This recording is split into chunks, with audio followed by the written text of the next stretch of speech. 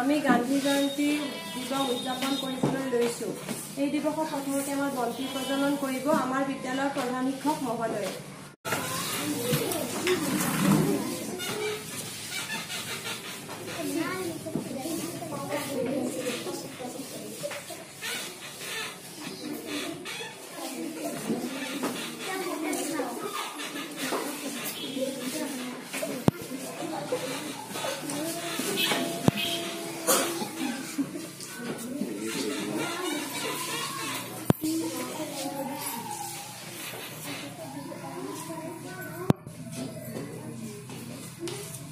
আমাৰ ছাৰ বাইদেউসকল এতিয়া আমাৰ পুষ্পাঞ্জলি প্ৰদান কৰিব।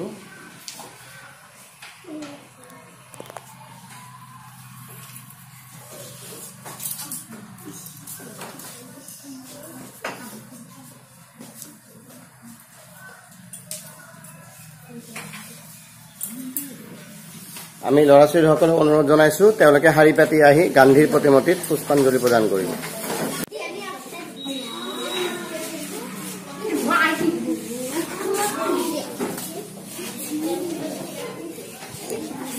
Gracias.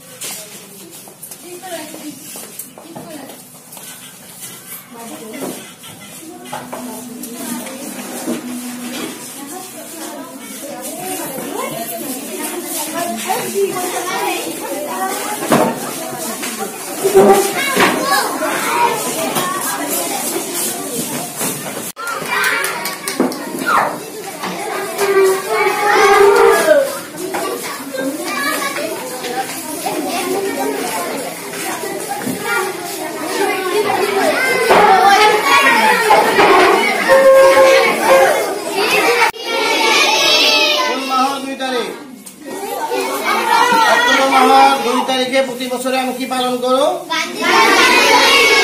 গান্ধীজী আজি জন্মগ্ৰহণ কৰিছিল। গতিকে আজি তেওঁ জন্মগ্ৰহণ কৰা ডেৰশ বছৰ হ'ল। কিমান বছৰ হ'ল? এশ পঞ্চাছ বছৰ।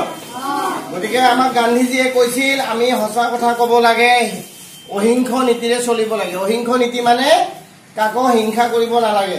আমি সকলোৰে ভাল কথা চিন্তা কৰিব লাগে। আৰু গান্ধীজীয়ে নিজেই চাফ চিকুণ কৰি থাকিছিল। আৰু এতিয়া আমাৰ চৰকাৰে এতিয়া স্বচ্ছ ভাৰত অভিযান আৰম্ভ কৰিছে যে এইটো গান্ধীজীৰ পৰা অনুপ্ৰাণিত হৈ। গতিকে আমি আজিৰ পৰা বিদ্যালয়ত আৰু বেছিকে চাফ চিকুণ হৈ থাকিম। থাকিবানে তোমালোকে? আমি সদায় ৰাতিপুৱা আহি আমাৰ চৌহদ চফা কৰিম। আৰু গান্ধীজীয়ে যিখিনি কথা কৈছে কাকো আমি হিংসা নকৰিম কাৰো লগত কাজিয়া নকৰিম। হ'বনে? গতিকে আমি গান্ধী জয়ন্তী আজি পালন কৰিলো তোমালোকে মহামানৱ মহাত্মা গান্ধীক সেৱা কৰিলা পুষ্পাঞ্জলি যাচি হয়নে নহয়? ইয়াক শ্ৰদ্ধা জনালা গতিকে তেওঁৰ আদৰ্শ আমি নিজৰ জীৱনত পালন কৰিম। হ'বনে? ঠিক আছে আমাৰ বাইদেউ আছে মই বাইদেউক লোৱা কথা ক'বলৈ অনুৰোধ জনাইছো। আজি গান্ধী জয়ন্তী দিৱস গান্ধী জয়ন্তী দিৱসত আমি সকলোৱে একত্ৰিত হৈ একেলগে চবে আমি আজি শপত লওঁ যে আমি সকলোৱে মিলা প্ৰীতিৰে থাকিম কাকো হিংসা নকৰোঁ সমিল মিলত সকলোৱে চলিম গান্ধীজীয়ে কৈছিল যে আমি সদায় সত্যত থাকিব লাগে। সত্যই ঈশ্বৰ। ঈশ্বৰ মানে সত্য। আমি যদি সত্যত থাকোঁ তেনেহ'লে আমি ঈশ্বৰক লগ পাম তাৰমানে ওপৰ আল্লাক লগ পাম। বুজি পাইছানে? গতিকে আমি সত্যত থাকিলে সদায় আমাৰ আৰু গান্ধীজীৰ এটা কথা আছে সত্যৰ সদায় জয়। সৎ কথা ক'বা সৎ পথত চলিবা ভাল কাম কৰিবা তুমি সদায় জীৱনত উন্নতি সাধন কৰিব পাৰিবা। গতিকে আমি সকলোৱে একে একগোট হৈ আজি একেলগে কওঁ সদায় জয়।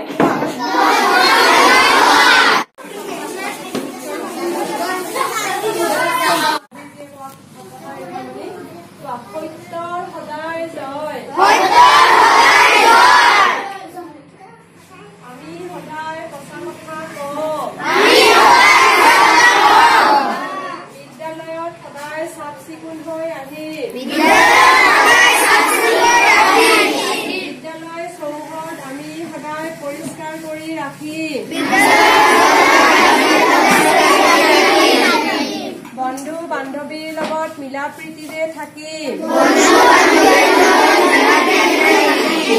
কাকো হিংসা নকৰো। কাকো